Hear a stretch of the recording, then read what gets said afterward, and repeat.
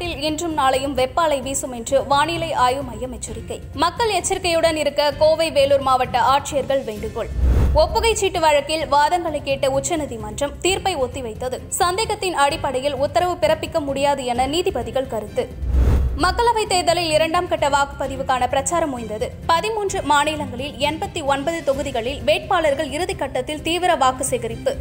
கோட்டக் மஹேந்திரா வங்கி புதிய credit card விநியோகிக்க ஆர்பிஐ தடை. விதிகளை பின்பற்றாததால் ஆன்லைன் மொபைல் பேங்கிங் புதிய கணக்குதாரர்களை சேர்க்கவும் தடை.